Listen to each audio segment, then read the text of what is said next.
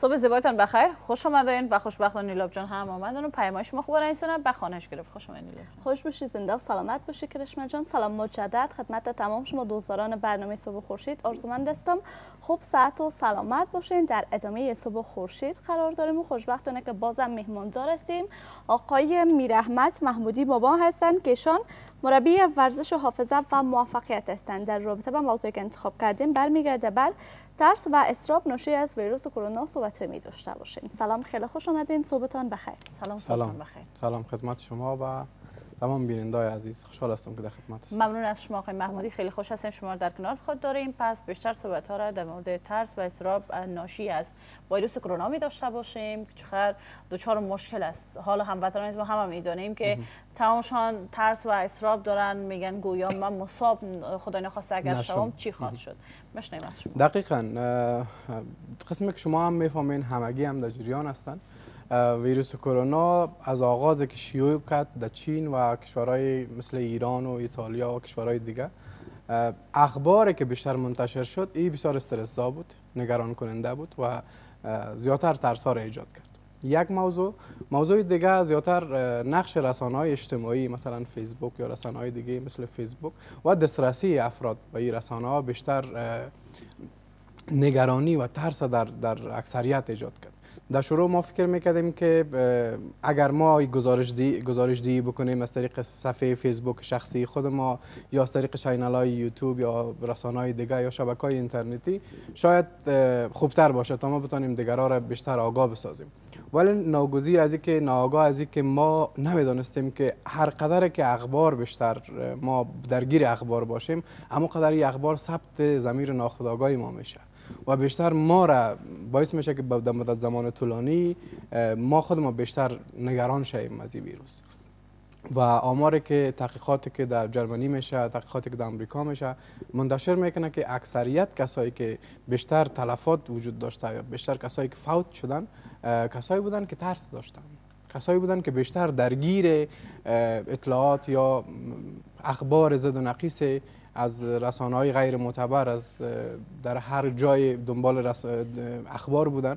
اینا زیادتر کسایی بودن که دو, دو, گروه دو کتگوری بودن. کسایی که مریضی های مزمن داشتن بیشتر تلفات داشتن یا هم کسایی که زیادتر ترسیده بودن زیادتر نگران شده بودن. که ترس ها با مرور زمان به یک نگرانی تبدیل میشه به استراب تبدیل میشه که اگر بگیرم چی کار بکنم؟ به خاطر از اینکه در شروع وقت شیوکت کرونا همگی از مرگ صحبت می‌کردن. بله. که گویا کرونا وقتی می‌گیره آدم میموره سن و سال نمی‌خواد. اما یک چیز بود.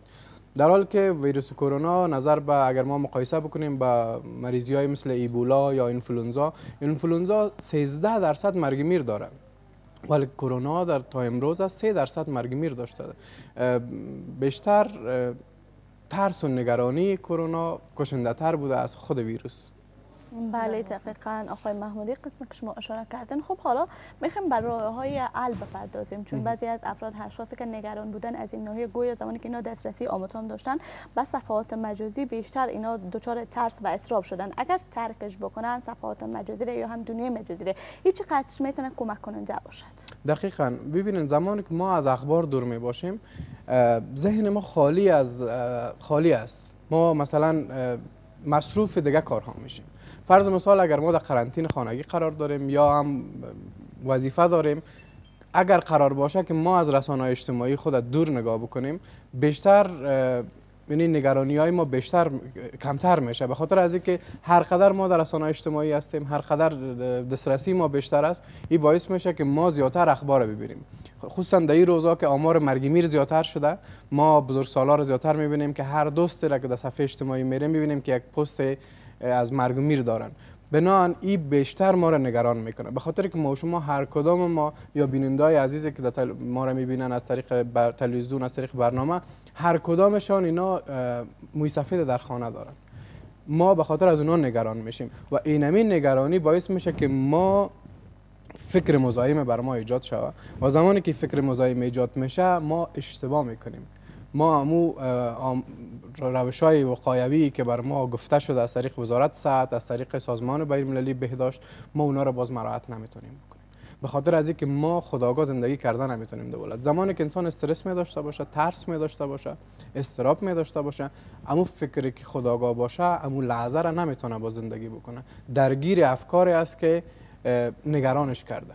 بنان میشه که اشتباه بکنن میشه که مثلا یک جای برن یا با کسی قول بتن یا با کسی بغل کشی بکنن یا با کسی یا در جای مثلا که ازدهام است ماسک نداشته باشن فراموش می‌کنیم. ما فراموشکار میشیم دوت یک حالت بنان بر از که ما بتونیم این نگرانی ها را کم بکنیم بهتر است ما یک برنامه داشته باشیم ما برنامه داشته باشیم که اگر در قرنطینه خانگی هستیم اگر در, محیط کار هستیم ما تلاش اول ما باشه که ما از اخبار خود دور بکنیم. به خاطر از اینکه اگر من اخبار بشنام از است من چیز ساخته نیست. چون من مسئول نیستم.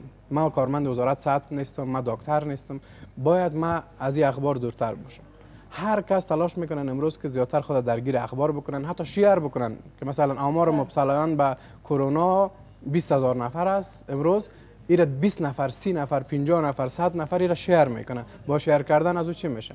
ما نگرانی ها را بیشتر می‌سازیم. بنان بهترین راه بهترین گزینشی است که ما بر خود یک برنامه داشته باشیم. بله واقعا. آقای محمود شما هم اشاره خیلی خوب داشتین. خب ورزش چقدر می‌تونه بالای روح روان گذار باشه؟ چون زمانی که ما همیشه شنیدیم کسانی که دپریشن هستن یا هم ترس یا استراب دارن یا هر مشکلی که هست با ورزش می‌تونن حل کنن. حالا همین ترس و استراب هم می‌تونن با ورزش کاهش بدن؟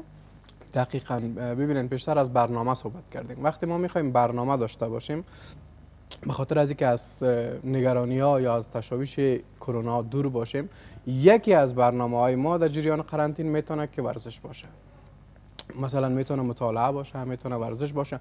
ورزش های که زیادتر برای آرامش روان بهتر است که امروز در دنیا زیاد توصیه میشه مثل مدیتیشن که متاسفانه در افغانستان وقتی ما از چیزهای نو صحبت می‌کنیم همیشه وقتی ما زیادتر صحبت کردیم از ورزش های نو یا از روش های جدید برای آرامسازی روح و روان مورد انتخاب هم قرار گرفتیم. ولی اینا چیزهای نو هستن update دنیا هستن. مدیتیشن بیشتر توصیه می‌کنن که ما بشینیم مراقبه بکنیم خود آرام بکنیم. ما خود وقف بتیم با کائنات و ورزش های دیگه مثل یوگا مثل دوش ورزش هایی که می‌تونه بسیار ساده در خانه انجام شود مثل ریسمان بازی همین که بتونه استرس وقتی که ما شروع می‌کنیم به تحرک آوردن و متحرک ساختن وجود خود ما هورمونای استرس ما کمتر میشه. بله خیلی مفید است بله دقیقا. خب با آقای محمودی کسانی که یا هم افراد اشخاصی که قوانین قرنطینه رو مد نظر نمی‌گیرن و از خانه های خود خارج میشن و به گشت و گذار می‌پردازن این چقدر می‌تونه بازم نتیجه بدی را در قبال خود داشته باشد؟ نتیجه ما شما مشاهدش هستیم در این بله. روزا که روز به روز آمار زیاد شده میره. یکی که قرنطینه مراحت نمی کنیم دومی که امو پیشنهادایی را که وزارت بهداشت برای ما میته مراحت نمیشه. شما در بازار برین در صد نفر ده نفر ماسک ندارن. شما کسایی را ببینین که یک فکر کلیشه‌ای وجود داره در بین مردم ما. شما متاسفانه که میگه میترسی؟ کسی که قول نمیته به سلام علیکی کردن. کسی که بغل کشی نمی‌کنه. او تو میترسی نمیفهم. ای, ای از این مسائل گپا گفته میشه که اینا بیشتر خطر مبتلا شدن به ویروس از زیادتر می‌سازه. و امو کسایی که ببینین شما آمار اگر می‌بینین یا تعداد مبتلا رو می‌بینین یا ما شفخانه افغان ژاپن یا جای دیگه که آمار مریضای کرونا میان ببینین زیادتر کسایی هستن که سبخی هستن که سواد کافی ندارن. به خاطر چی؟ که امیر مراعات نکردن بله بخیر خب ورزش یوگا چقدر می‌تونه تاثیرگذار باشه. چون تمام ورزش ها خیلی مفید هست و به تقویت به تقویت ذهن چقدر می‌تونه که یوگا هم موثر تمام شود و کسانی که می‌خواین وزن خود زود از که حالا زمانی که اگر دپریشن باشن یا هم مشکل دیگه داشته باشن می‌تونن با ورزش حل شون. خب یوگا در چندین بخش کار میشه. که مثلا اگر ما بخوایم بر سلامت بدن خود یا به سلامت روان به سلامت روان بیشتر توسعه روانشناسای دنیا مدیتیشن است مراقبه است که ما ذهن آرامی بسازیم.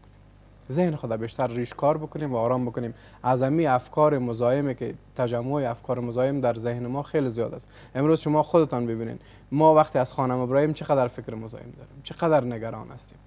مشکلات چقدر زیاد است؟ تمام از اینا نگرانی هایی است که به استراب تبدیل میشه به گفته شما به دپریشن تبدیل بله. میشه. بنان اگر ما می‌خوایم مثلا ورزش یوگا رو انجام بدیم یوگا هم بر خود روش های مختلف داره که بر سلامت روان بر سلامت فیزیولوژی بدن شیوه های مختلف داره که تو ما آخرین گزارش را که در رابطه با یوگا خواندیم که میگن یوگا را شما در فضای باز انجام بدین موثرتر است نسبت به فضای بسته. خب آقای محمودی شما که مربی ورزش حافظه و موفقیت هستین پس, میشه کم بیشتر در رابطه با ورزش حافظه و موفقیت بر مبینده های عزیزمون معلومات بیشتر را بکنین. ورزش حافظه را خب ما چندین برنامه هم داشتیم اینجا.